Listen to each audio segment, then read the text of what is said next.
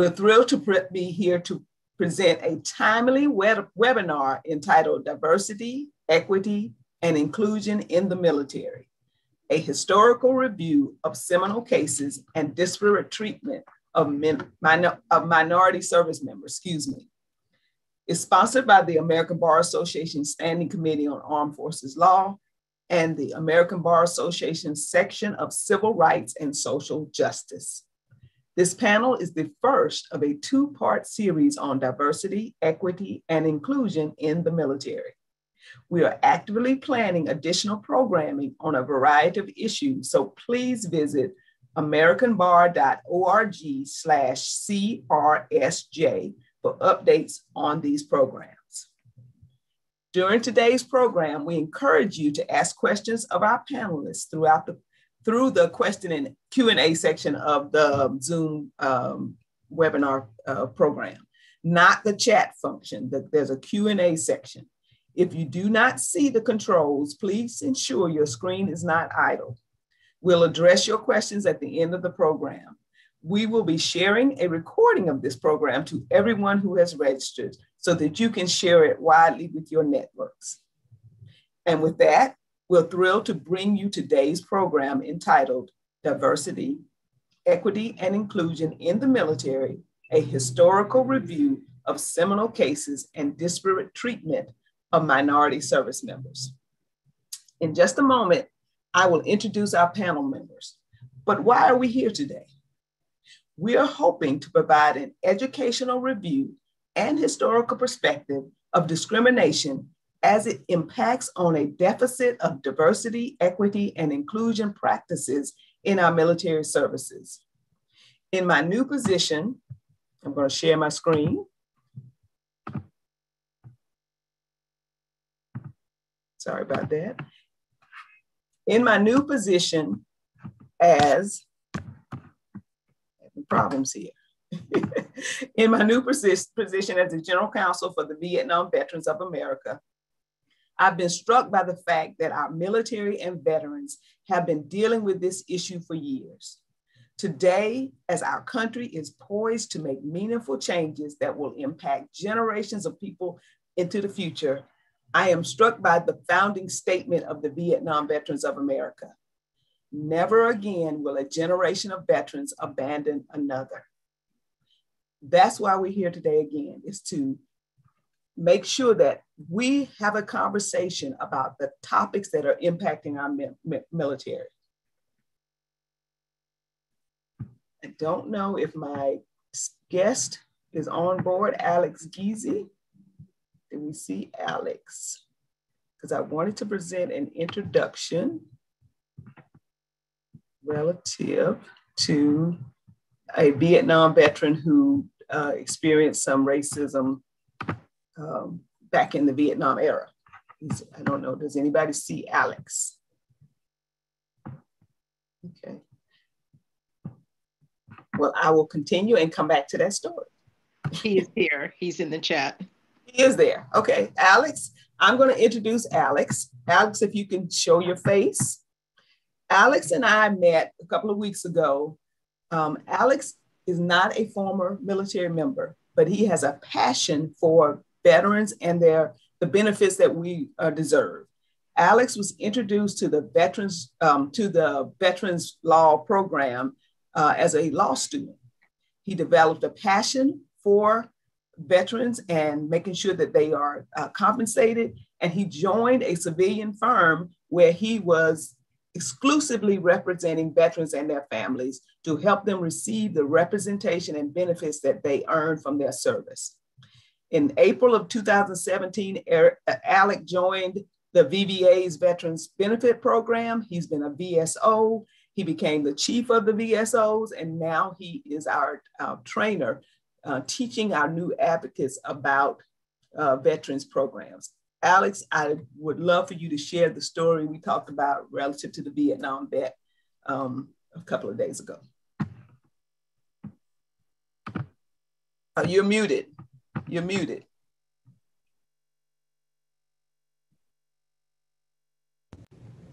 How about now? Hey, there we go. All right, wonderful. Um, so thank you so much for having me. And the, the story are, of course, told through the veterans that I represented. Uh, while I was at the private law firm, I had the opportunity to represent uh, many veterans from Puerto Rico, the Vietnam era. And while all of them shared stories of being treated differently because of their Hispanic heritage, uh, one thing in common that they had is the language barrier. And uh, one thing that happened during that time period is that they were uh, recruited by people on the island of Puerto Rico that spoke Spanish, and uh, they were either, you know, the, the, the topic was either not broached um, or they were assured that they would be taught English in no time and that to be able to integrate into the armed forces. Um, but unfortunately, most of them, they were given very cursory, you know, uh, two weeks or, or, or, or, less training and never actually learned English. And one particular client um, was not capable of understanding orders. And so during combat situations, um, people were shouting and yelling, and he had no idea what was going on. And that actually induced PTSD uh, by the fact that he couldn't participate in the unit. He didn't know what to do in moments of high stress. And that's just one example of how uh, the, the Hispanic culture and the language difference wasn't really taken into account when uh, these individuals were, were brought into the service. There was only, they were really only given a cursory language introduction and then were supposed to speak English from that point forward.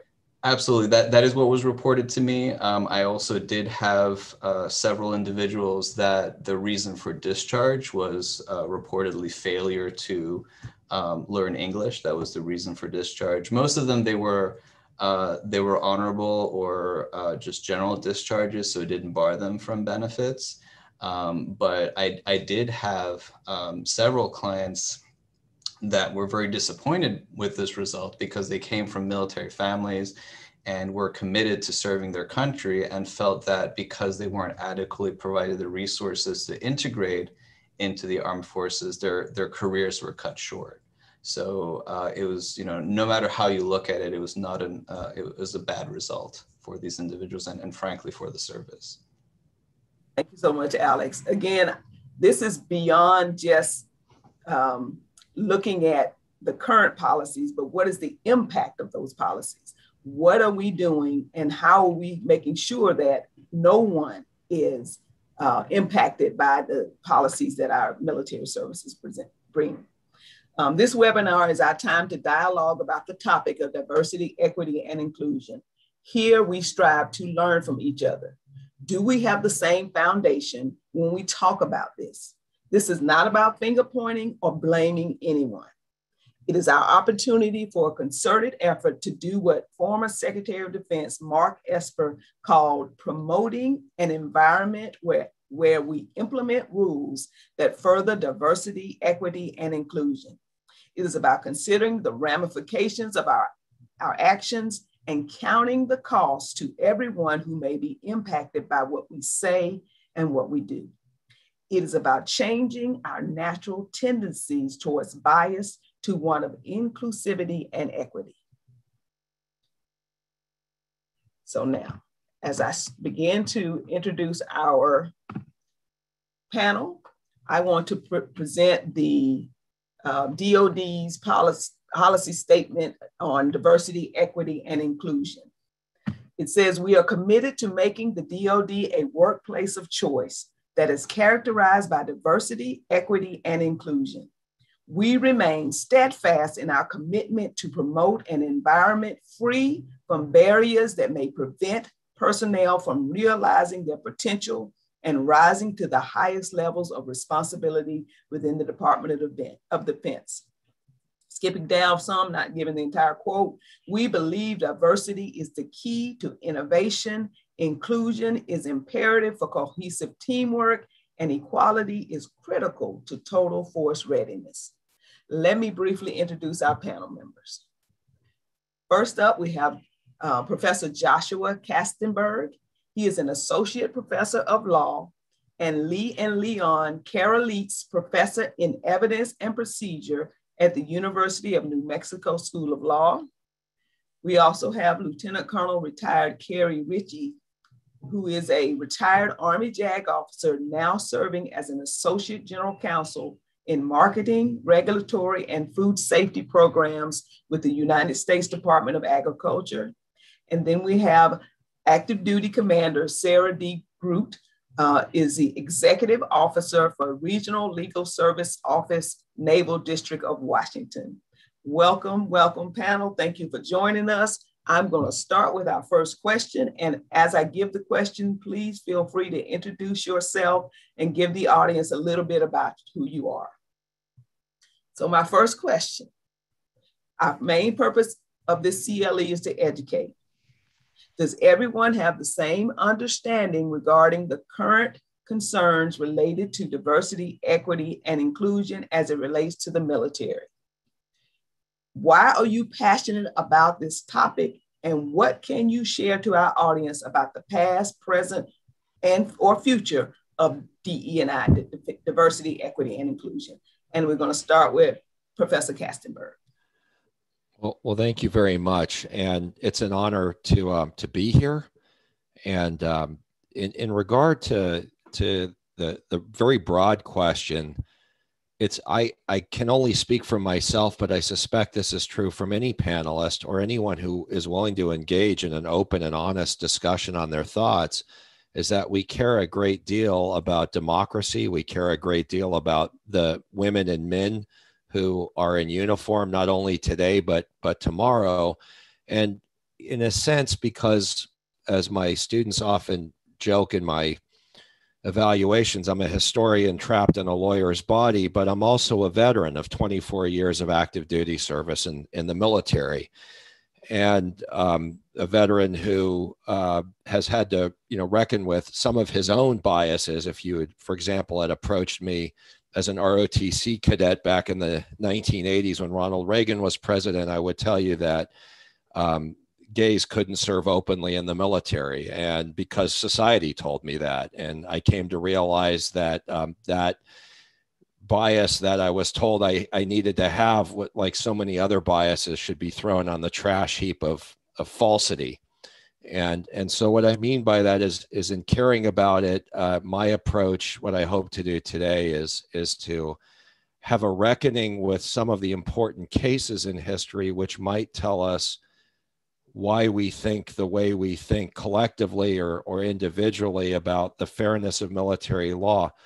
I, I will say this um, most of the people that i worked with in the military most of the military law practitioners and the system itself is designed more or less to be fair, but it's a human system and it has human failings and it has human biases in it. And it wasn't always fair. And so sometimes when we don't reckon with the past, um, we, we, we, we skirt over areas that, that cement unfairness um, in it. And I'll give you you know, I'll give you a very quick example of something that I just discovered the other day. I was asked by the Loudoun County, Virginia Historical Society to look at some court martial records from the War of 1812 that they recently uncovered. You you could pay a bounty and not have to serve in the militia and go and fight the British in the War of 1812 or you didn't have to pay a bounty if you could prove that your slaves, if you were a white slave owner, would take over your property. Now, think about what that might have done to the socioeconomic standings of poor whites and, and slaves um, in, in the South. And that's just one area that hasn't really been, been uncovered.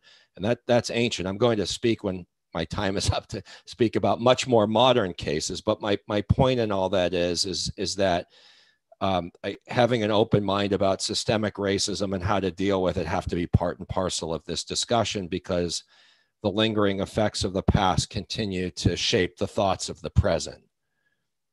Yeah, if you could go ahead and discuss some of the cases, the I, seminal cases in uh, this area. Absolutely. So I'd like to begin with this this idea, and I hope we have an open mind of of the cases we know and the cases that we don't know. And I want to start about the cases that we we don't know. um, before I go to the big, the, the two big ones that I think are really important, I like to build sort of a mental time machine and, and go back to the 1960s to the Vietnam conflict. And so I, I once, um, I authored a book on Justice William O. Douglas and why Gerald Ford tried to impeach him when Ford was in Congress. And Douglas became very outspoken against the Vietnam War and acted in a manner that usually you don't see Supreme Court justices doing in the 20th century. He sort of got in hot water for, for that. But one of Justice Douglas's concerns um, is, is that in, in the period of the Vietnam War, you have roughly 29 ma- males who are eligible to be drafted in the country. And roughly 60% of men um, avoid the draft for one reason um, or another, including exemptions and deferments. Um, the the the commission that the that the Lyndon Johnson administration established um, and put the pre former president of IBM as as the head, so it was very data driven. Discovered something that most of us understand today that conscription was heavily weighted against the poor and against men, young men of color. But on, on top of that, in Georgia and in South Carolina, there's not one single male or female of color serving on the civilian led draft boards. And so you can imagine draft um, deferments and draft exemptions are going to correlate with that. So then let's transit into the Vietnam conflict and take a quick look at a press headline. There was a so called prison riot, and it was a very violent riot at the Long Binh prison. The Long Binh prison was heavily populated by um, African American soldiers who had committed petty crimes but had been convicted in court martials and were getting sent home. And the conditions of those of that particular prison somewhat mirrored Attica or some of the more notorious state prisons in the United States. Um, the prisoners were subjected to abuse, and not surprisingly, there was a prison uprising. There was also drugs that were both being used by the military police and and prisoners. But if you look at the headlines that are written about that at the day, it, it, it looks like a race riot, and it looks like a race riot that um, was caused by the prisoners themselves without regard to, to prison treatment. And out of the Long Binh prison, you have 40 more court martials coming out for crimes of assault and, and even sedition, which is a very unusual um, offense to charge someone with. It carries with it the death penalty. Of course, nobody got the death penalty as as a result of the Long Binh prison riots. I want to focus though on one case that I find both compelling and and important for us to consider. And it's a published decision called United States versus Johnson. And I'm not speaking about the president here.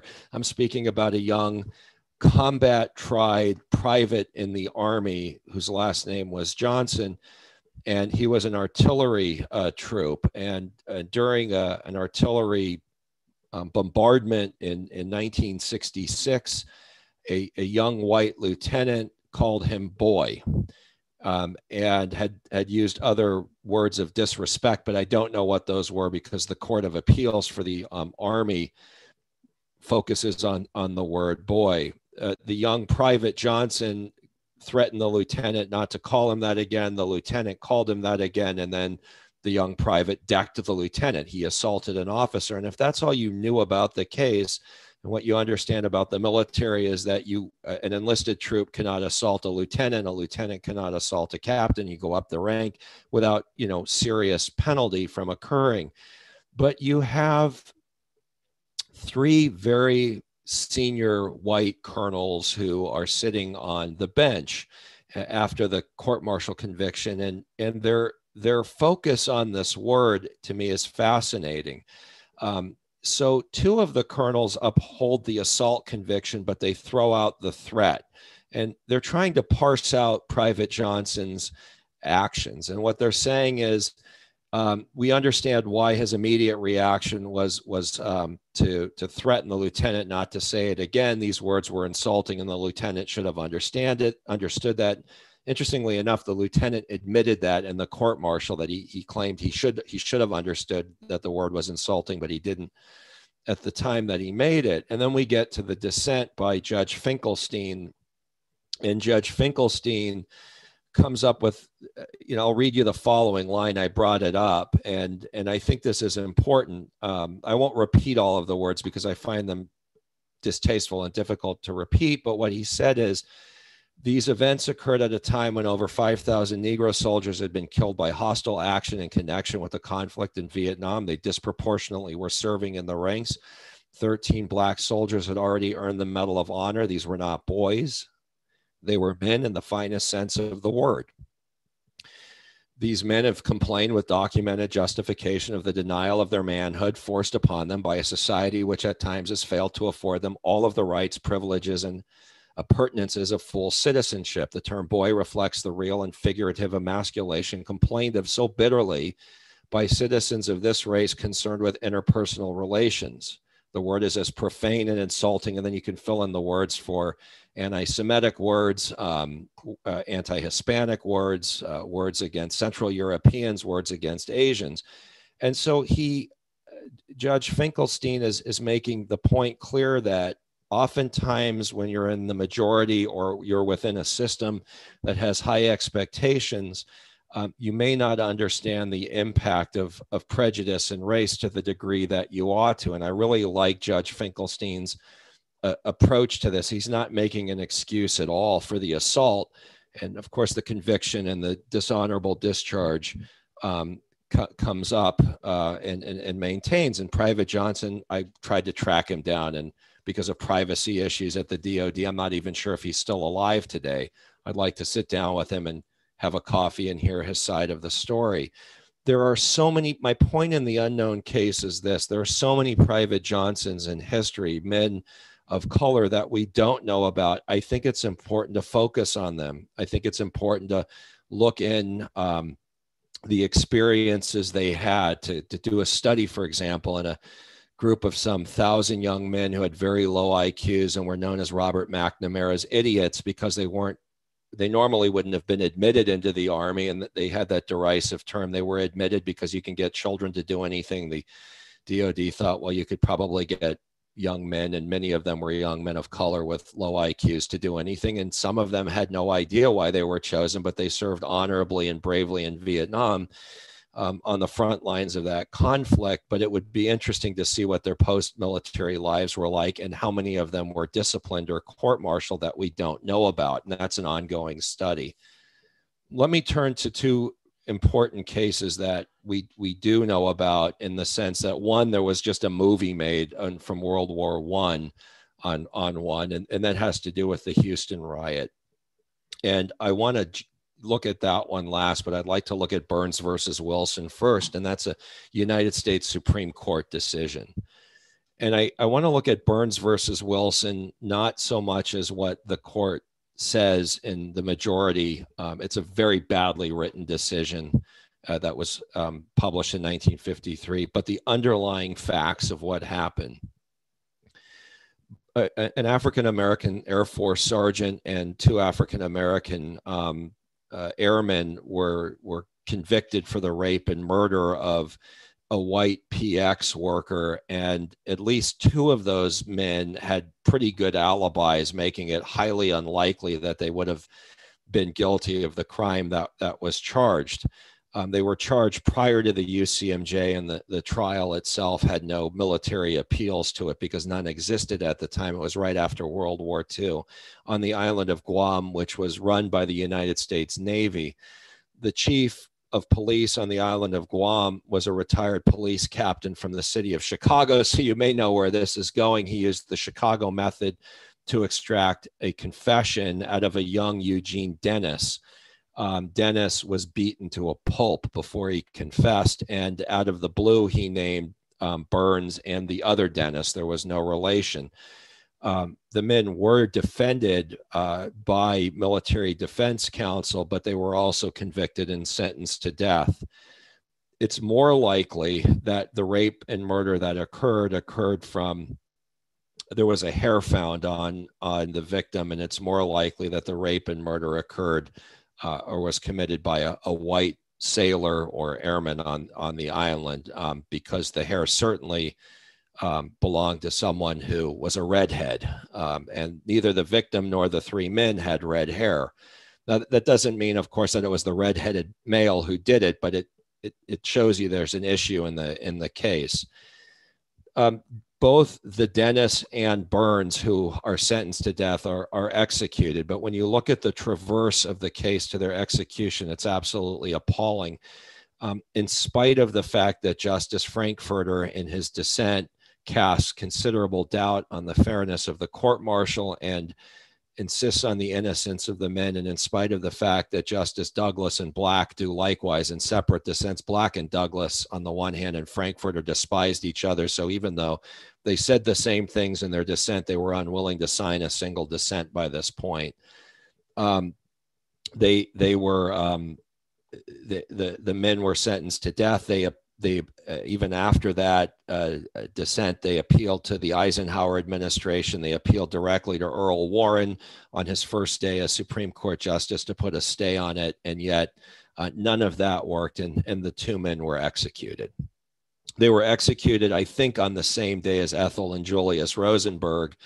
Um, who were uh, two Jewish scientists, husband and wife, who were accused of giving atomic secrets to the Soviet Union. And so the Burns and Dennis um, execution didn't get the media play that the Rosenberg um, trial got. And I have strong feelings on the Rosenberg trial. I'll caveat that by saying, even if they were guilty, they were tried under the same law. The Soviets already had the information that they allegedly gave them, and the tr- that trial was ridden um, with anti-Semitism throughout. So it's not a case of one, you know, one fascinating trial, stomping an unjust trial. It's a case of two um, unjust events, um, one trumping the other in the media eye. Uh, to this day, if I had a wish list and I have time, I'd like to get on a project to try to do a posthumous pardon.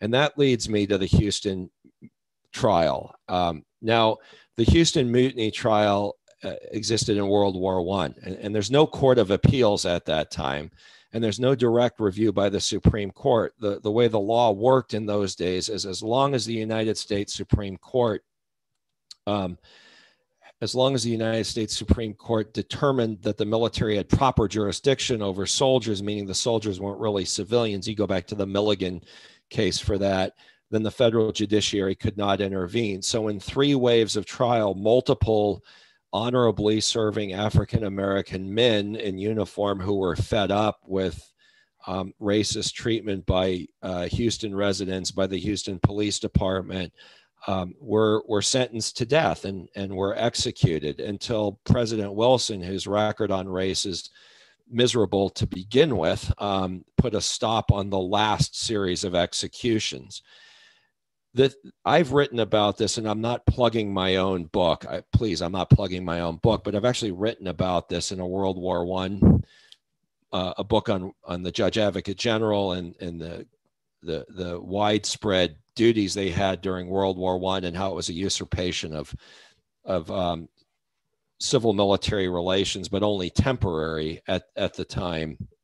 Um, the the interesting thing about the, of the many interesting things that, about the Houston mutiny is that the the first round of executions begins before the White House even knows the trial occurred. That's how rapid it was. And, and so the judge advocate general, General Enoch Crowder, had no idea that the trial had taken place, the executions had been issued, because that's the way military law worked back then. But ultimately, the men were given a posthumous pardon. Now, what's the importance of a posthumous pardon?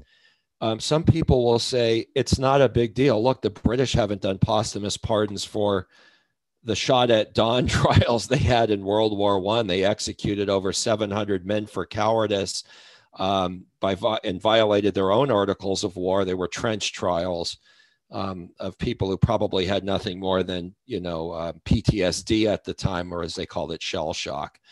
Um, the the value of posthumous pardons, though, is, and I think President Clinton did this well in the Houston Mutiny trials, is this: it's it's that it causes the current military and the current Congress to remember that there's an important value to equal treatment under the law.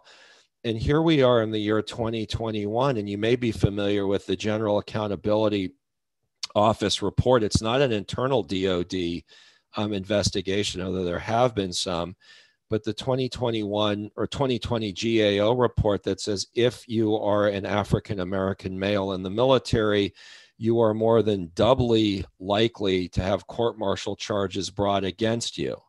Now, that's an astounding figure in the year 2021. And it's partly astounding to me for this reason.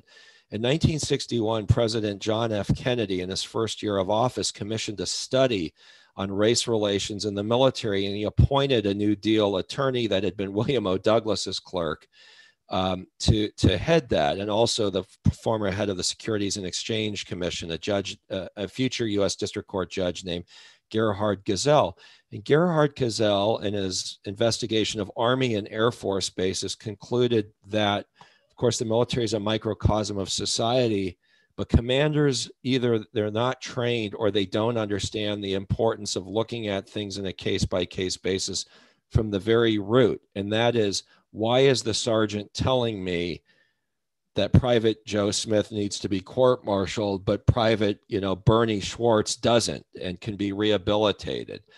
And the military needs to keep a, year by year account on who they're taking to trial because there are gross inequities in the promotion, retention, and court martial system in the military.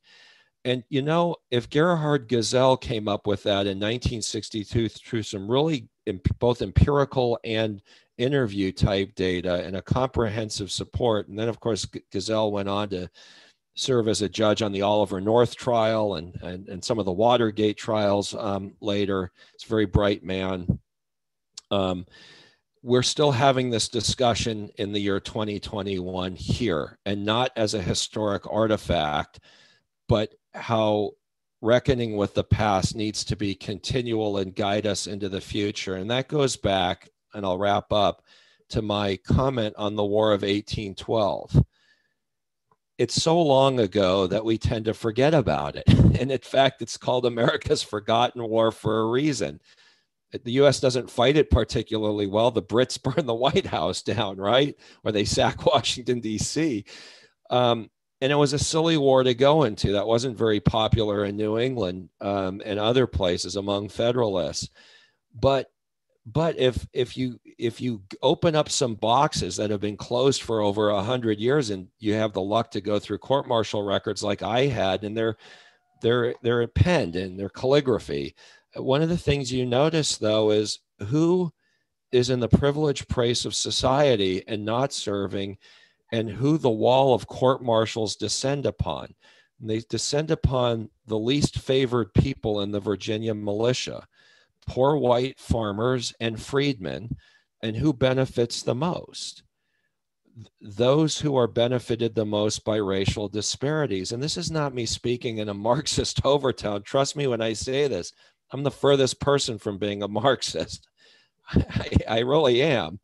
Um, and I, I, I get upset when I hear about BLM being compared to or being a Marxist front. It's the same old tried argument that people like Strom Thurmond raised against Martin Luther King. It's just it's not reality.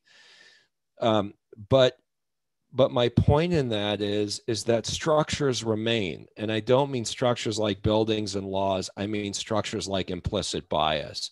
And reckoning with the past helps us overcome the structure of implicit bias, and it's a road to do so. And so I think I'm running short of time. And I've been asked for a case citation on Johnson. I'll type it into the chat right now, and I'm open to questions. You could uh, put your questions in the Q&A, we're going to go to our next panelist. After the two other panelists speak, you will we will go to your questions. Um, we are now going to go to Lieutenant Colonel Carrie Ricci. And Carrie, there was a question about statistics. Does the Army even know how many African Americans, Hispanics have served, serving? If you can include that in your response, but it's open to you. What are you passionate? Why are you passionate about this topic? And what can you share to educate our audience about the past, present, and future of diversity, equity, and inclusion? Right. First, I did provide a link to an infographic in the uh, Q&A um, that shows you the numbers that DOD is counting in 2020 for um, Hispanics serving on active duty. Um, so why I'm passionate, um, I think first I'd like to take you through a visualization exercise very briefly. Um, so if you would bear with me, um, imagine, if you will, that you are a reporter 15 years in the future, and you're there to look at Army innovations. So picture this, close your eyes, you get to an Army hospital, and the Army commander, the hospital commander, greets you very warmly, probably not with a handshake because we're post COVID, so maybe an elbow bump or something, but you lock eyes. And this commander is very excited to show you what uh, innovations we have 15 years from now. Um, so the commander takes you to a non-commissioned officer in a surgical ward the non-commissioned officer talks to you very anim animated and is able to demonstrate in a very sterile environment um, this innovation of a machine, a, a robot that can perform surgery, but the person performing the surgery is in another state or even another country. This is amazing for the battlefield to be able to have this technology and it's now here. Um, I want you to think of one other scenario. Again, a reporter 15 years in the future looking at innovation, um, but this time you're at a training area and you're greeted by the general officer who tells you, my non-commissioned officer is gonna show you what we're gonna be doing now on the battlefield. And you get a demonstration of a robotic vehicle um, that is you know, capable of, of performing combat and it's operated remotely. The non-commissioned officer, again, very animated, looks at you directly and says, this is, the future is now. This is amazing. So you've gotten these two glimpses of these great innovations from the future. So open your eyes and I want you to think about who did you picture as you were going to these places? Who was the Army uh, hospital commander? Was it a a male? Was it a female? Was it a Caucasian? Was it a Hispanic, African American? Uh, when you looked at the non-commissioned officer, same question. The general officer, non-commissioned officer out on the field. In today's Army, it really can be anyone, uh, but who did you picture and how is that informed? Is it from movies that you've seen or different war stories from, uh, from television shows? What forms your vision of what a soldier looks like. Um, I'm passionate about this because in today's Army, it really is possible for anyone to become any of those roles, but there are still barriers that need to be lifted. Um, I want you to also think about those innovations, the, you know, the robotic vehicles and the remote uh, operating center. These are real. These are real innovations that are being developed now and tested. Um, was it hard for you to imagine those? As opposed to, was it hard for you to imagine maybe an African American hospital commander, which is also an innovation. So I, I just want you to think, keep that in your mind. And this is this is what I'm passionate about: is that we have to um, engage our own understanding of reality, and we have to really make this uh, make this real. Uh, diversity you know, it's not going to succeed if we're not invested in it and, and, and willing to recognize perhaps our own unconscious biases. Um, so I'm going to share my screen to talk to you a little bit about what DOD is doing um, today. So this is what I'm going to talk about. Uh, first, what's going on? What are the recent initiatives? Um, and why? Why diversity, equity, and, and inclusion? What's the big deal? Um, and where are we today and where are we going? So.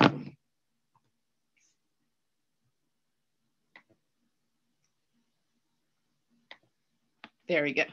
Um, so what's going on? These are the major uh, diversity and inclusion initiatives of late. Um, I think one of the biggest milestones came in 2009 when Congress authorized the creation of the Military Leadership Diversity Commission, uh, which issued a report. And uh, in that report, many, many of the recommendations um, informed the military moving forward on diversity and inclusion. Um, and in 2012, there was a five-year diversity inclusion strategic plan that was developed, um, both for uh, military and civilian.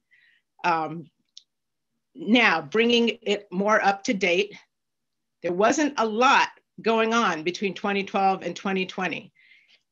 But there was a lot contained in that uh, MLDC report, and that was being implemented. But there weren't a lot of new um, new issuances per se. Um, in 2020, we had the horrific death of George Floyd, and the military acted fairly swiftly. In June, then Secretary of Defense Mark Esper issued a memo. Um, he directed a three prong approach for promoting diversity and inclusion in the services. Um, and I've listed them here. Uh, and just think about how uh, bureaucracies and military is a bureaucracy, how they work. This is incredible fast timing, and uh, you know a lot that has taken place um, in the last uh, last year or so. So um, he required that the services identify immediate actions for improving diversity and inclusion. And on July 14th, he issued a memo that listed what immediate actions could be taken. Then he did sort of a midterm task, which was to create a, a diversity and inclusion board.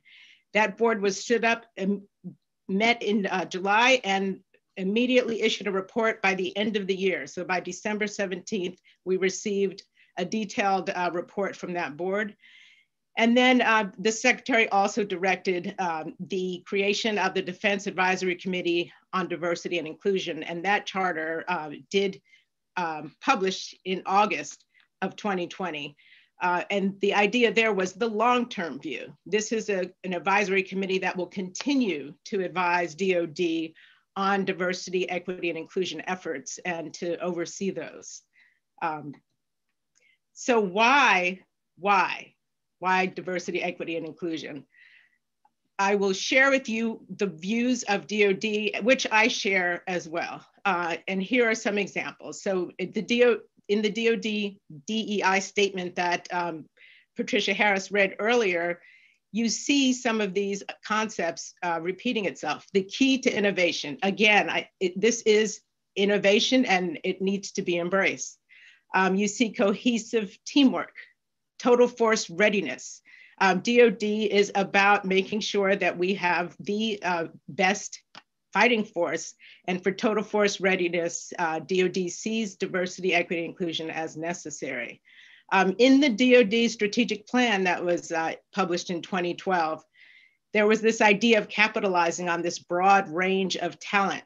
So when we did the visualization, visualization exercise, you, we need talented people to be able to harness these innovations that are uh, that are coming for the military that continue the military is frequently at the forefront of innovation and we need the best talent and diversity will ensure that um, we also need to reach out to these diverse communities to, to compete for that top talent. That was part of that strategic plan as well.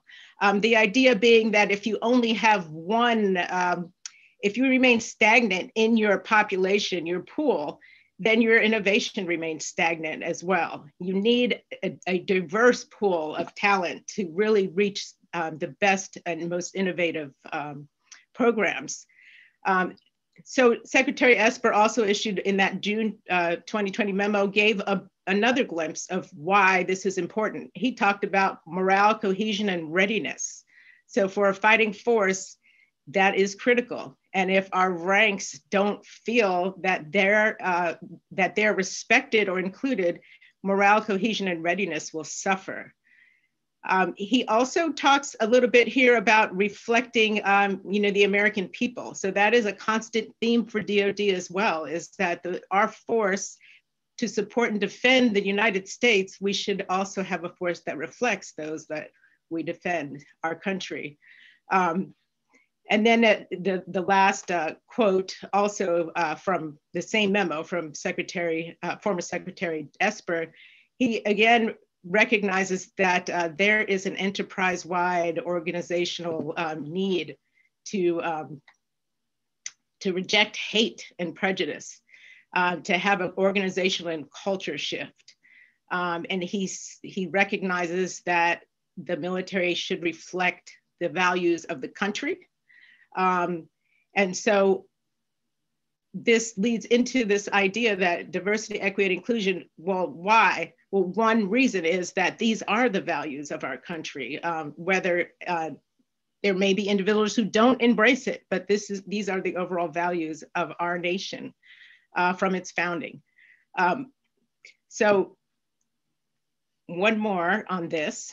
Um, I really like this paragraph, uh, and this comes from, again, uh, former Secretary of Defense uh, Esper, who talks, this is the memo that he issued in implementing um, the actions, in, in directing the services to take these immediate actions.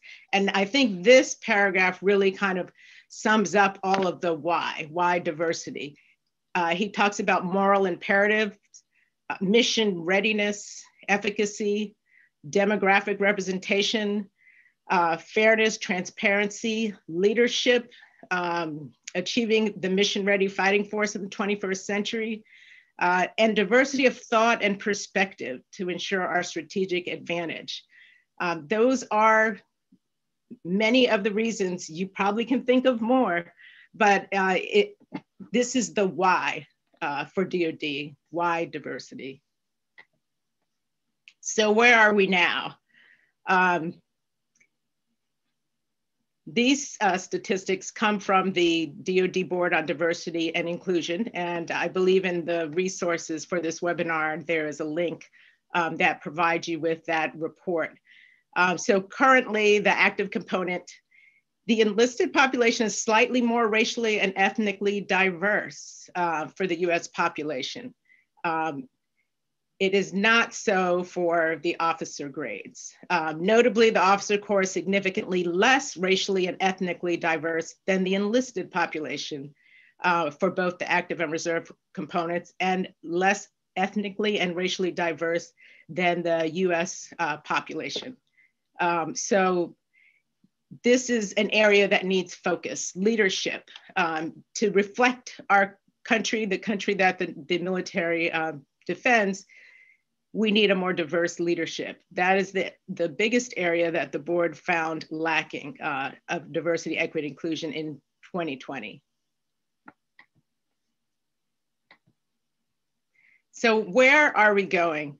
Um, I wanted to share this quote because I, I, I really like it. it. It says leaders must acknowledge that increasing demographic diversity does not by itself increase effectiveness. What matters is how an organization harnesses diversity and whether it's willing to reshape its power structure.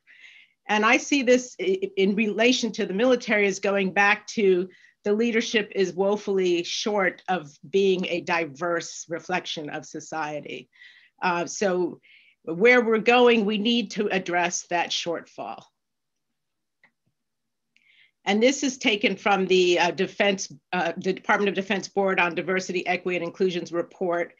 And this is an infographic that they use to show, uh, you know, how in uh, in the business world, in civil society, uh, in industry, diversity and, and inclusion has evolved. And it's you can then see the parallels to the military.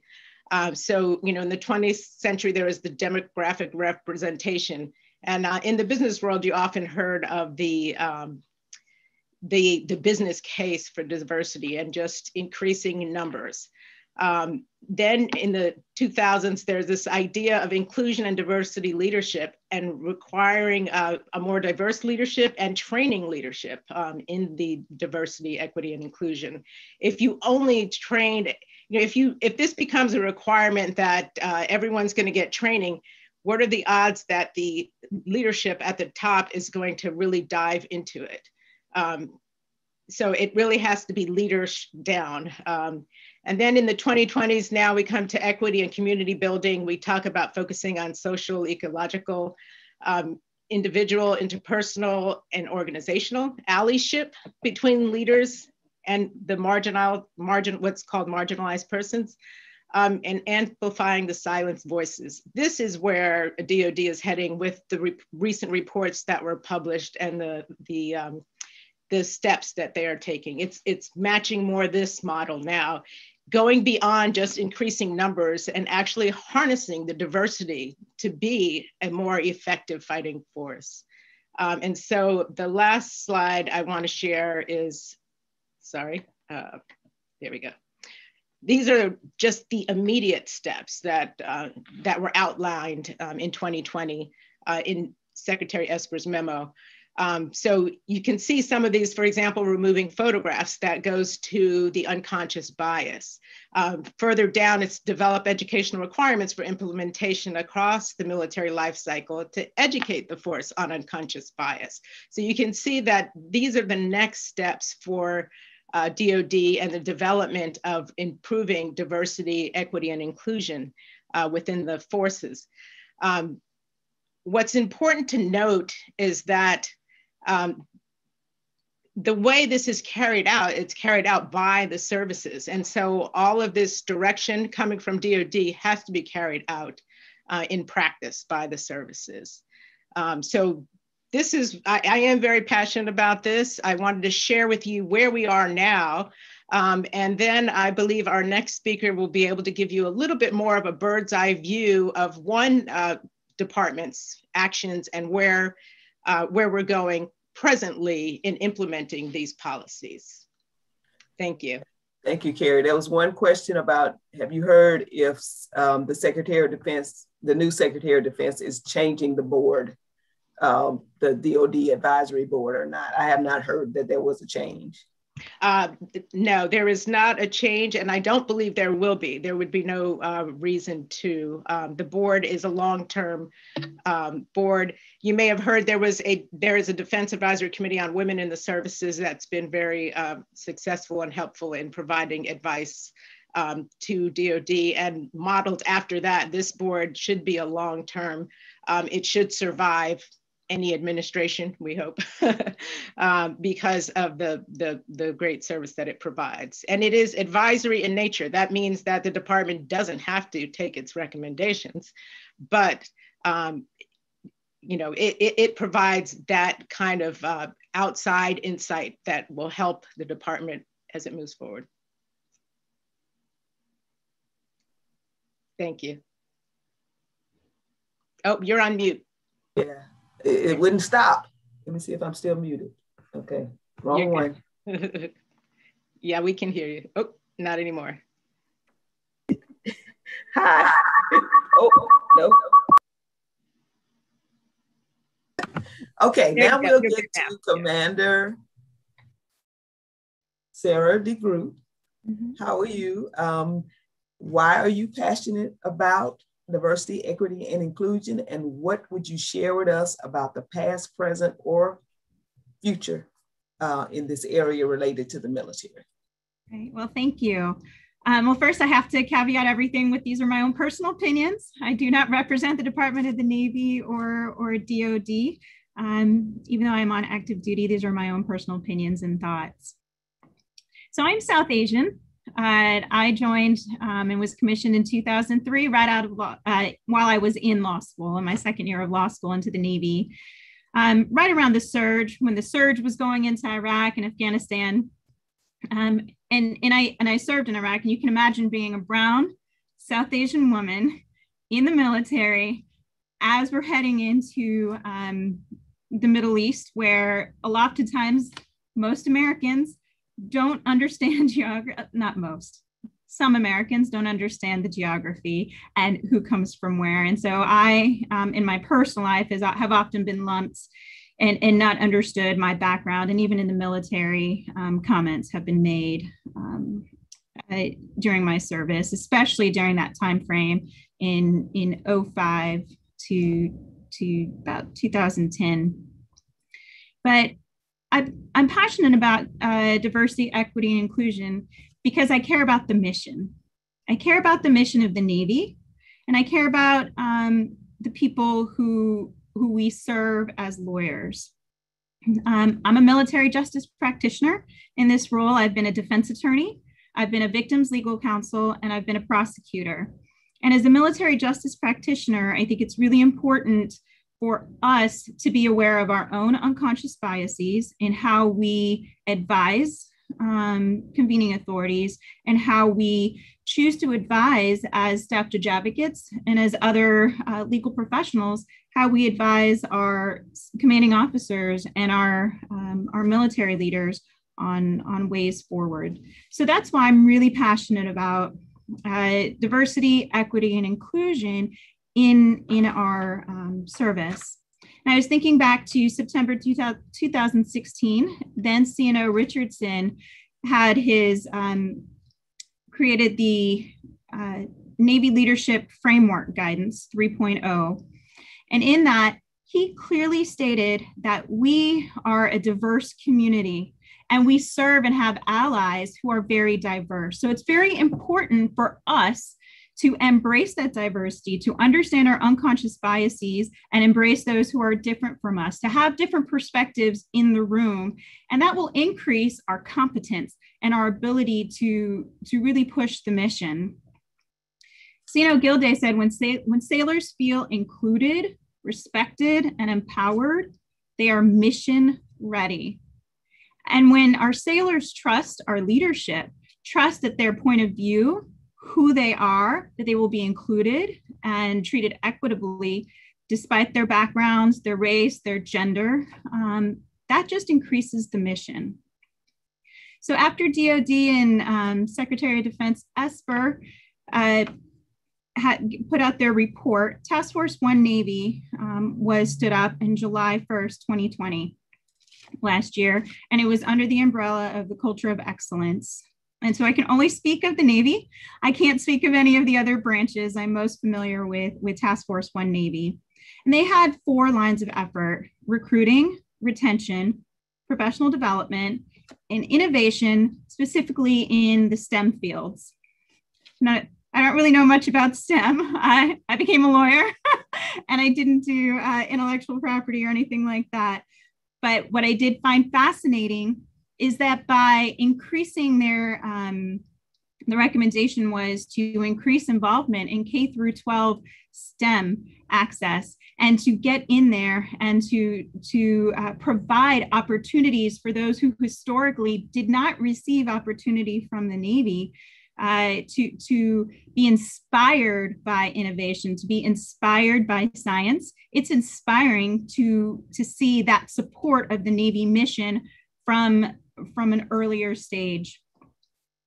From Task Force One Navy, 56 Navy uh, recommendations were, were given. A lot of them mirror what um, DoD recommendations were out of their report, but some of them that were um, really important, I think, and, and struck me have to do with uh, recruiting and really working with historically Black colleges and other colleges that typically were not um, we were not recruiting from, working with them to enhance their ROTC programs. Many of our minority officers come from ROTC programs, so we should be investing in in personnel who can provide um, diverse opportunities and not continue to to continue to embrace that diversity and embrace um, our our talented officers from from those locations in career development and mentorship it was noticed that when people came up for flag um, and opportunities to be flag some many minority officers didn't have the background in order to be competitive for those flag officers, um, for those flag billets. The question is why? When did that happen? Was it lack of mentorship from the beginning? Were they not receiving uh, guidance because those above them weren't looking to them to, to mentor them and to bring them um, on? I, I want to focus on the JAG Corps in specific, the Navy JAG Corps in specific. In November 2020, uh, Vice Admiral Hannink created the Standing Advisory on um, Standing Advisory Council on Inclusion and Diversity. And we as lawyers have been looking at retention, recruiting, mentorship, and community engagement, understanding uh, how wh why people stay or leave um, the military. And these are all important for us as JAGs because as I talked about, we advise commanders. We advise commanders on rules of engagement. We advise commanders on um, military justice, on NJP. The GAO uh, is doing a study, and in the Navy, we have not been collecting the um, race of, of many people who are going to, um, to court martial and and JP. We are now, uh, but there's not a lot of uh, data to really say for sure what is happening. But what the data is showing um, a little bit right now is that on the administrative level, on the NJP, the um, Article 15 level, there is a disproportionate impact on minority sailors. And so as, um, as a JAG who's advising convening authorities and commanders, we should be that voice that talks about these things, that considers um, to, to give them uh, a perspective that's important. Um, the GAO report and the data that has been collected so far does say when it reaches the charging level with the attorneys on the court martial level, at least in the Navy, that it does even out um, a lot more and that sentencing seems to be fairly equal. But we're standing by, of course, for more data as, um, as we collect it and, and find out about it. But I do think we are headed in the right direction, and I'm I'm very uh, positive for the future. As a South Asian, I'm really excited about uh, a perspective on grooming. Uh, we have many Sikhs who want to serve in the uh, in the military and who are serving in the military. Sorry, I have motion censored uh, light switch in my office.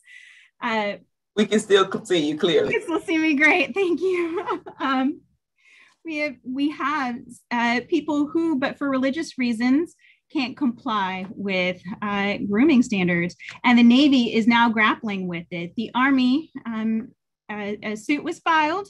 I am blanking on uh, the name of the case right now, but it is now allowed in the Army for Sikhs to wear turbans uh, when when serving, and and now the Navy uh, is going to be grap or should be grappling with it, and and policies are being looked at. Grooming policies are being looked at. It's not just for South Asians, but also African Americans who. Um, for hairstyles and, and other grooming, it's really important because to be who you are, to have a, um, a community that allows you to be authentic while still serving the mission and supporting the mission, I think is hugely important, especially as our, our forces are going to be looking at blended retirement that allows our folks to, to leave early without the carrot of the 20 year pension um, and, and a rising healthcare costs for, for our retirees. So these are all important. DEI is important to, to encourage loyalty and, in support of the mission. Over. Thank you so much. That was uh, excellent. Um, I appreciate all of our panelists so far. We're going to make sure you put your questions in chat. We're going to open it up. They're not in chat. In Q&A, there's a Q&A box next to, to the left of the chat. Put your questions in Q&A. I'm going to stop for, uh, as you uh, do that and present um, some announcements relative to the American Bar Association so I can give you time to put your questions in chat. So let me get to those slides. Okay. We urge you to get and stay involved. There are a number of ways for attorneys to get involved with efforts and initiatives for service members and veterans. And you have some examples here, including the American Bar Association's Military and Veterans Legal Clinic, uh, Legal Center, there's a, a, a, a link that you can follow to get to their website. You can explore resources and opportunities, and it brings together all of the ABA entities, programs, and projects that are focused on our military and our veterans and their families. There are also always CLEs that you can participate in. Um, you can, again, there is a link um, that's for the CLE that's um, ambar.org slash lampcle, and that should be in chat for you to follow as well. And then there are a number of pro bono programs that you can also participate in. Um, the ABA Military Pro Bono Project accepts cases, case referrals from military legal assistance attorneys who are helping the junior enlisted service members who are facing civil legal issues. And we're working to, you know, help make sure that they get um, the support they need um, through volunteer attorneys. So if you want to participate in that, you're an attorney and you have the ability to participate as a pro bono attorney, we'd uh, love for you to join us. Um, the cases include family law matters, creditor and consumer issues, landlord tenant matters, and other civil legal issues. Again, there's the link to sign up for that. And there's always the ABA free legal answers as well. This is a virtual legal advice clinic. The ABA is is is uh, involved in our veterans and our military. They want to be a resource that you can utilize. So please check out those free legal answers for some questions that are frequently asked. Um, there's questions about discharge upgrades, VA disability, and other VA benefits. And again, you get these free uh, of charge as a, a, bon, a, pre, a pro bono service. We have a upcoming July the 7th, uh, we have an, uh, an, a book coming out, um, Military Discharge Upgrade Legal Practice Manual. You can pre-order that.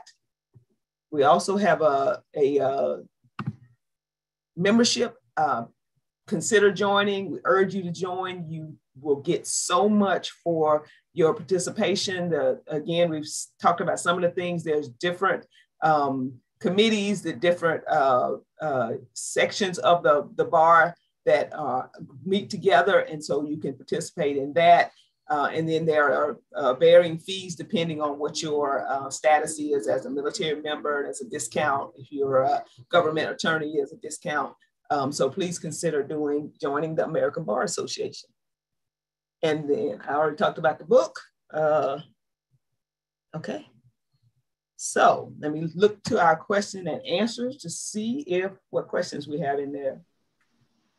Um, I know we have. While you're doing that, I just wanted to follow up. I, I misunderstood the question about the Defense Advisory Committee. I don't know about the composition of that committee. I thought the question was whether the committee itself would continue, but That's as far as the too. committee members, I'm not sure. Um, I'm not sure what's happening with the composition of the committee. So I apologize for misspeaking earlier. Okay. Okay, so we have a question um, from Alexander Flores. So hopefully I get it right. Uh, regarding military justice, it feels as though, and this is for anyone, it feels as though trial counsel operating in a smaller fighting hole aren't able to extrapolate larger trends in investigations, uh, non-judicial punishment is NJP, administrative separation, and charging decisions either in a particular command or at a higher level. So he's talking about being able to get the resources of, of uh, prior cases, uh, prior investigations when you're in a small location. Um, if the trial counsel can't harness the data, who should who should be looking at this data? Mm.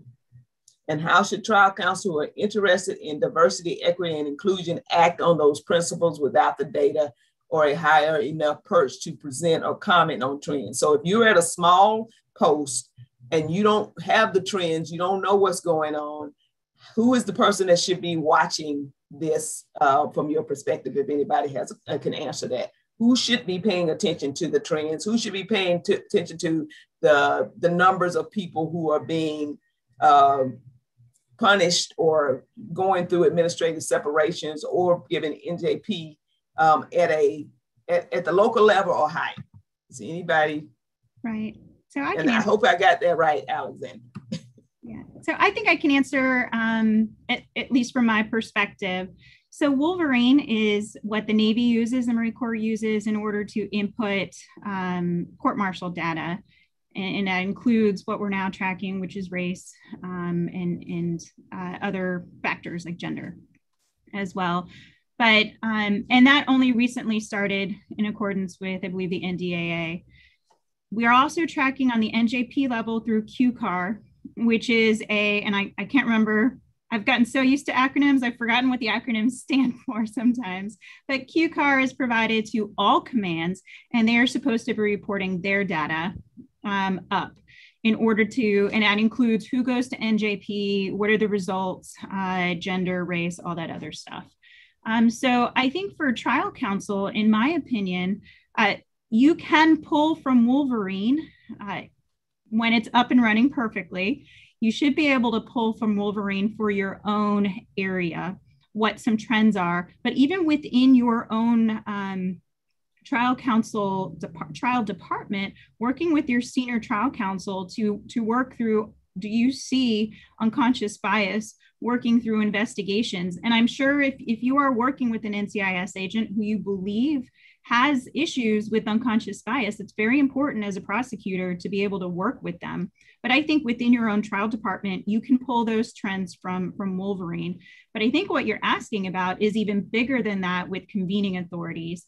And I think that is going to be within with the administrative piece. And that's what the QCAR Thank you. Yes, I could not remember what it stood for, so I definitely appreciate that. Uh, so looking at, at the QCAR, um, those are being looked at and you can always, I'm gonna put a shout out for Code 20, who's collecting a lot of data. Code 20 for the Navy is collecting the, the Navy data. And I think you can reach out to them if you have any questions. Over.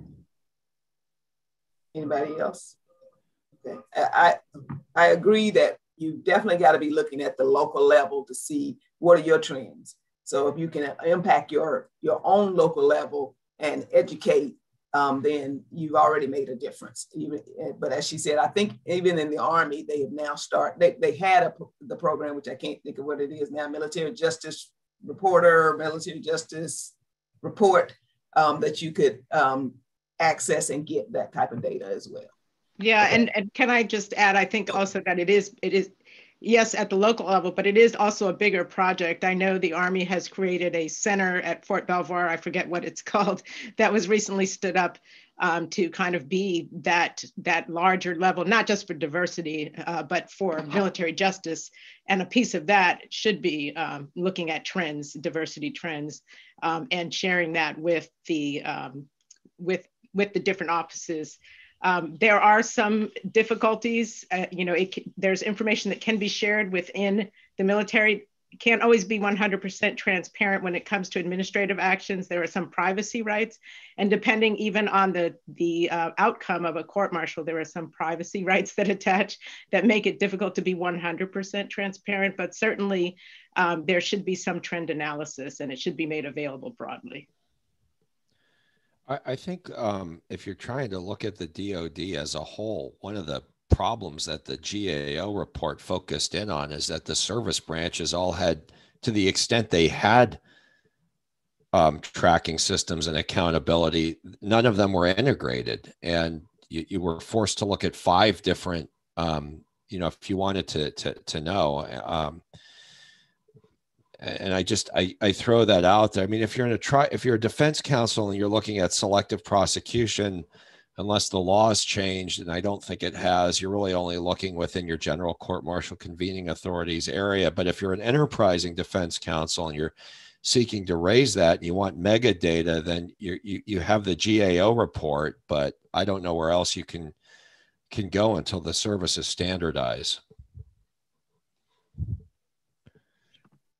Thank you. Um, this is a question that's not, well, it's, it's kind of on point with um, helping our service members. Beyond mentors and sponsors in the service, says, are there programs available to help potential service members know about pathways and careers in the service?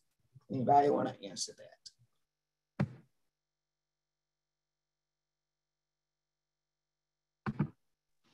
I'm not very familiar with uh, recruiting initiatives. Um, you know, there are, of course, the junior ROTC programs in, in certain high schools that are very helpful in that regard. Um, but beyond that, I'm not sure how recruiters um, do their work, but they do um, have recruiting offices all over the country, and that is their mission.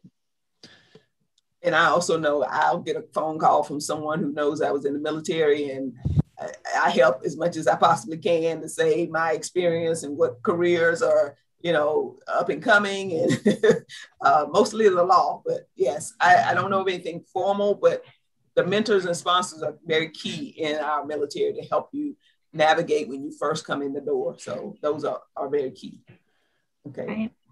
I, I will agree. Yes. There, there, are definitely some, uh, the, the, Navy is looking definitely at NROTC uh, to improve minority applications, to work with K through 12 um, schools in order to to start not recruiting is the wrong word, but to help innovate. Um, and provide them with opportunities. So there are a lot of ways, including even once you're in, uh, having opportunities for some of our enlisted members who are very educated, more educated than some officers, not have to go through OCS and, and well, go through an IPP program where they're direct commission beyond uh, outside of the, the LDO, uh, the limited duty officer process. So there's lots of things that are being looked at in order to increase not just racial, gender, and other uh, diversity, but per, per, uh, diversity of perspective um, that I think are being pushed uh, in, in the coming years. And one thing I, I would note is that it, this is not just a one time push. The one thing that makes this push for DEI different, I feel from previous um, iterations of, of looking at, at diversity and inclusion, is that you have our senior leadership, our Secretary of Defense, our Secretary of the Navy, our CNO, really pushing these and really behind them. And I think that is very important for our sailors and our, our Marines um, and Guardians and Airmen. And uh, so I'm sure I forgot so many soldiers to, to see, to really see our senior leadership behind this. And that's very important. I'm going to share my screen for a quote and then a question I think it's important, like you said, to see what's what's happening currently. And this is a quote from the Army um, Judge Advocate General, who it was a, a great quote because the, the lawyers have to be involved in this area. Um, let's see here. That's not it. Uh, here we go. Our people are our most precious resource. I got to get it so I can see it.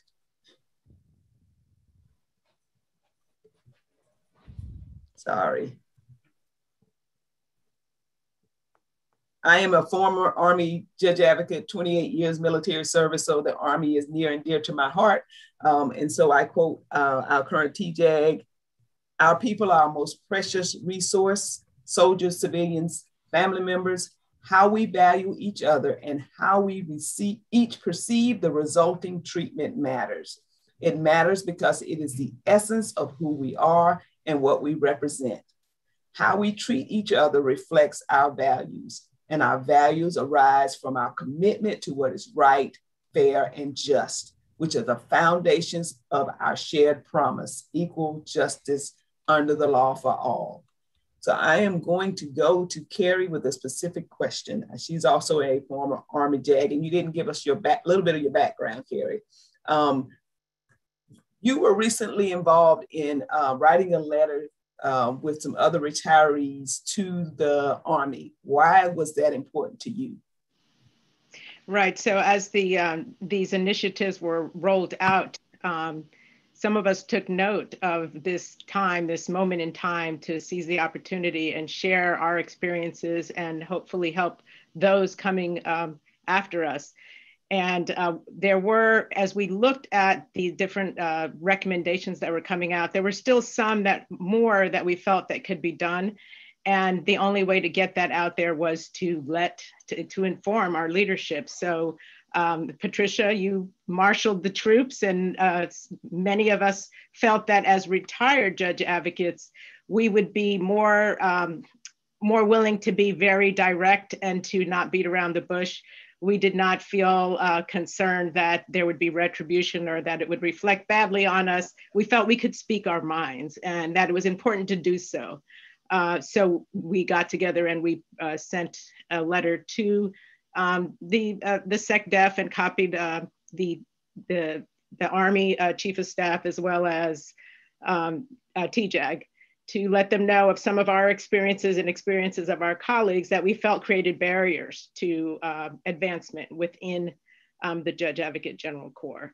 Uh, and we just really saw that as necessary, even though there are sensing sessions and other information gathering going on within the military.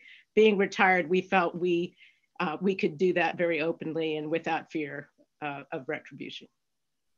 Could you also, can you say what you recently participated in? And Yeah, yes, I was going to mention that as well. Um, as we're talking about diversity, I think uh, gender diversity is another aspect of the military that's very important to move forward. Um, I was a member of the Fort Hood Independent Review Committee.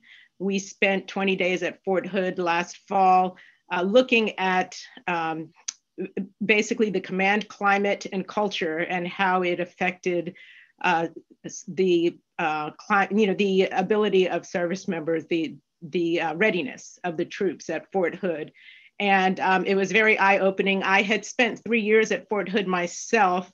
Um, in the 90s as a trial counsel, as a prosecutor. So um, going back to Fort Hood um, this many years later, it was very eye opening to see um, some of the difficulties that still remained. Um, some things had not changed at all. Some things had actually gotten worse. Um, and we were very, uh, it was a panel of five highly qualified experts. So we were outside of the military, we were independent, and we were able to speak our minds and to call it like we saw it. Um, so we produced a 130 page report out of that. Uh, what I took away, um, many, many things, but what is still in my heart is the stories of the women um, and, and the, um, the harassment and, and many sexual assaults that were recounted to me and, uh, you know, just heart wrenching stories. Um, our women should not in any in any environment um, have to endure that and we certainly aren't going to move forward with um, uh, receiving the best and brightest uh, women in the military if that's the way we're going to treat them. Now, this is not, I don't mean to generalize. This was not to say that all women in the military are being treated that way, but there should be no occurrences of this. And the occurrences within, at this location with these combat units was, uh, was unbelievably high. Um, so that is something that the, the Army is facing head on and is addressing. I believe we're on a great path, um, and that with continued attention and and uh, ensuring that the conversation doesn't uh, peter out and that actions continue to be taken to eliminate um, and to create this overall force that understands and respects one another. That's a part of the whole DNI initiative. And um, it, it, was really lacking in many areas. And that is a big push. And I believe that we are I still love the Army, so I don't want to be quoted as bad mouthing the Army, but I believe we're in a, in a better direction. As we have about eight minutes left, um, Professor Kastenberg, we have been underrepresented with minority officers in the senior ranks forever. Yeah. Do you see, would that make a difference, do you think, in some of the cases that the past and the future if we do have a more equal um, representation of my, of all minority officers. Yeah, absolutely. But I, I want to, I think I'd like to make a comment on that because I, I agree with you about underrepresentation. But the military, like so many things that are part of American culture, whether it's baseball or Hollywood, is, is built on both a combination of truth and myth. And the military has been held as an example of of being you know in sort of at the vanguard of equality. So long before companies like shell oil or ibm had men of color in the upper ranks the, the army did in, in particular. And and there's always you know people will go back to general charles young or um, or or the first you know african american cadets at west point that the army treated horribly and most of them didn't go on to to full careers. But and, and my, my point though in bringing on sort of the, the the myth of the vanguard is that there's there's a reality in it but i think it makes general society still think well the military is still paving the way.